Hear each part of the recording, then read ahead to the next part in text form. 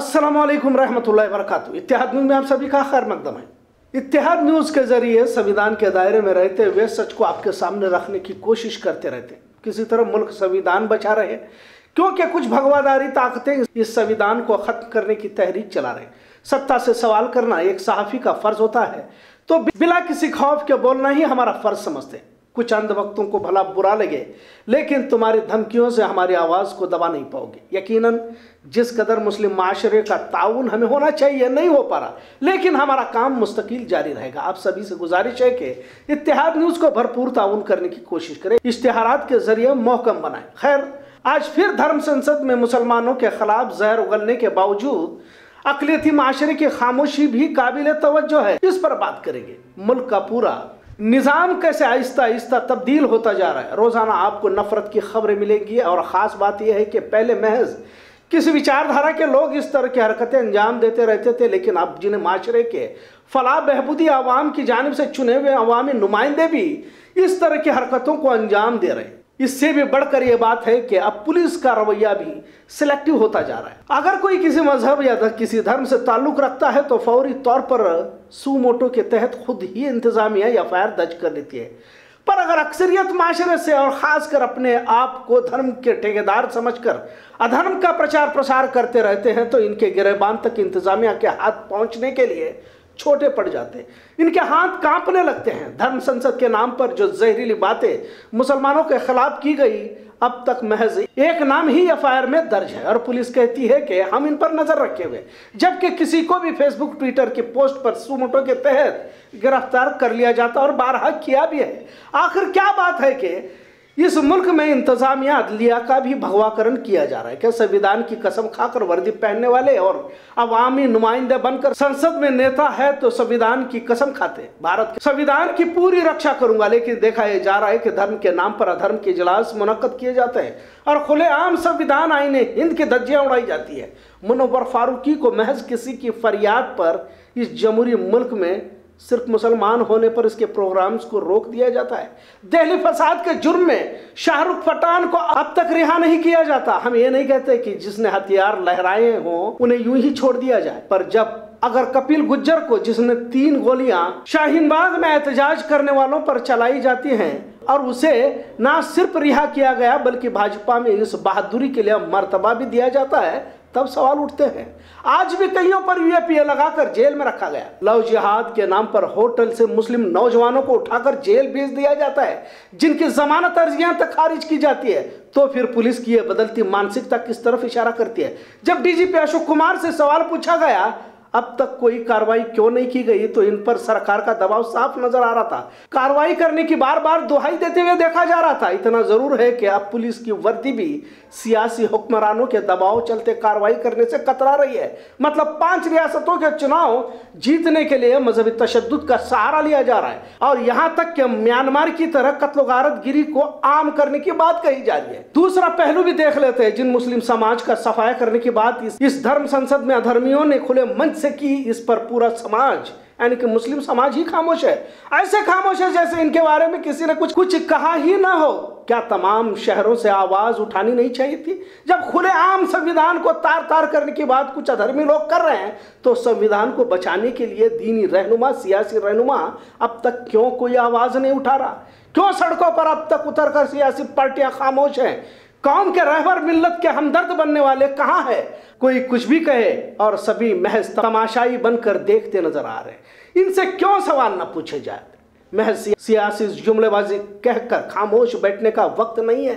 सरकार से सवाल पूछने होंगे। आखिर इस धर्म संसद के नाम पर खून खराबी की बात किस, किसके इशारे पर हो रही है? अब तो इनकी नीयत का इसी बात से अंदाज़ा लगाया जाता है कि जब वज़ीर आज़म भी पंद्रह अगस्त के रोज लाल किले की तकरीर से बंटवारे के जख्म को रेतते हुए कहते हैं कि पाकिस्तान से ट्रेन भरकर हिंदुओं की लाशें भारत भेजी गई थी। आखिर इस बात को दोहराने की क्या ज़रूरत थी? जिन्होंने भी इस हरकत को अंजाम दिया था, वो पाकिस्तान में है। भारत का मुसलमान तो इस जन्मभूमि, कर्मभूमि के साथ वफादारी करते हुए मौका होने के बावजूद भी वहाँ नहीं गया।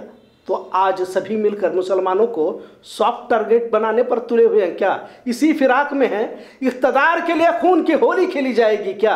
अब तो ईसाइयों को भी निशाना बनाया जा रहा है। आज ईसा मसीह की मूर्ति को तोड़ा गया। कल क्रिसमस हुआ और इसी मौके पर ऐसी वारदातों को अंजाम दिया जा रहा है। चर्च पर हमलों की वारदातों में इजाफा हो चुका है और खतरा इन मूर्तियों को तोड़ने वालों से ज़्यादा इस विचारधारा से है जो सत्तर सालों से अक्सरियत माशरे के दिलों में।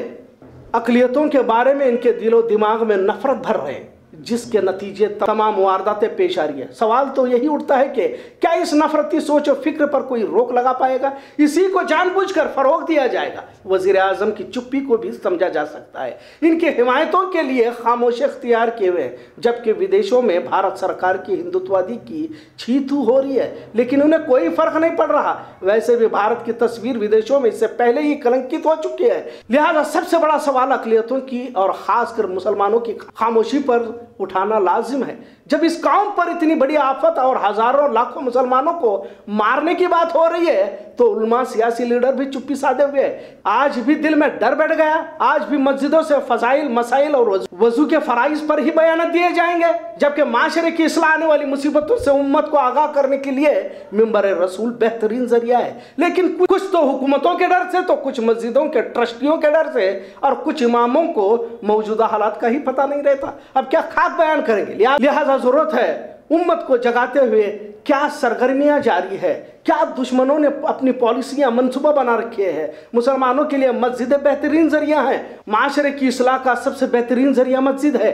नौजवानों का बड़ा तबका यश और मोबाइल में डूबा हुआ है और कुछ अपने आप को समझदार समझने वाले और किसी तंजीमदार से जुड़े हुए लोग मेडिकल कैंप, रेशन तकसीम, ब्लड डोनेशन कैंप या बाढ़ में मदद करने को ही मुकम्मल खिदमत खल्क समझ चुके हैं। वक्त बहुत निकल चुका है। संविधान को बचाने की ज़िम्मेदारी भी अकलियतों के सर पर आन पड़ी है। सबसे पहले संविधान को समझे और संविधान को बचाने की जद्दोजहद करे। कुछ कुछ फ़ायदा हो ना हो, हर शहर से आवाज़ उठाकर मुतालबात पेश करे।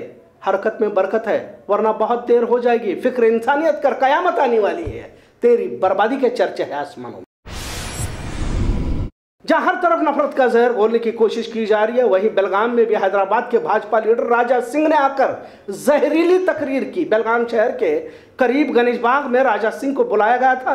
हिंदू राष्ट्र के लिए नौजवानों को आगे आने की बात कही। कुल कुल मिलाकर यहाँ पर भी उत्तर भारत की तरफ़ फिजा बनाने की कोशिश की जा रही है। इस वक्त भाजपा के अनिल बेन के, धनंजय जाधव, रमेश देश और दिगर जिम्मेदारान मौजूद थे। बेलगाम में पिछले कुछ दिनों से कन्नड़ मराठी तनाजे के चलते तनाव देखा जा रहा है। संगोली रायना की मूर्ति की तोहिन के मद्देनजर 31 दिसंबर को कर्नाटक बंद का ऐलान किया गया। पूरी रियासत में एमएस को लेकर काफ़ी गुस्सा देखा जा रहा है। एमएस मराठी नौजवानों की तंजीम है, जो पिछले साठ सालों से महाराष्ट्र की हिमायत करते हुए बेलगाम को महाराष्ट्र में शामिल करने की मांग करती रहती है। अब कन्नड़ तंजीमों ने इस तंजीम पर पाबंदी लगाने की मांग की है, जिससे पूरे रियासत में हिमायत हासिल हो रही बेलगाम के बिशप हाउस में तमाम मजाहिब के लोगों ने मिलकर क्रिसमस को मनाया। 25 दिसंबर को ईसाई माशरे की जानब से ईसा मसीह की यौम पैदाइश मनाई जाती है, जिसकी मुबारकबाद शहर के मुख्तलिफ़ तबकात के लोगों ने ईसाइयों को दी। बिशप डेरेक फर्नांडिस के घर पर इजलास मुनद किया गया था। इस वक्त जनाब राजू सेठ, फिरोज सेठ, साजिद शेख, डॉक्टर अनिल पाटिल सीओ आनंद, नितिन खोत मौजूद रहे। कारपोरेशन इंतबात होकर चार महीने से भी ज़्यादा अरसा गुजर चुका है। अब तक मेयर, डेप्यूटी मेयर के चुनाव नहीं हो पाए। भाजपा की हुकूमत होने के बावजूद भी भाजपा कारपोरेटरों को इंतज़ार करना पड़ रहा है, लेकिन अब वक्त नज़दीक आ चुका है। 11 जनवरी को नए साल के मौके पर मेयर, डेप्यूटी मेयर के चुनाव होने की बात कही जा रही है। रिजर्वेशन का भी ऐलान किया गया है मेयर के लिए जनरल। तो डिप्टी मेयर के लिए जनरल कैटेगरी खवतिन के लिए रखी गई है। कारपोरेशन में बत्तीस वार्डों में जीत दर्ज कर कारपोरेशन में 32 वार्डों में जीत दर्ज कर अक्सरियत के साथ भाजपा ने सत्ता हासिल की हुई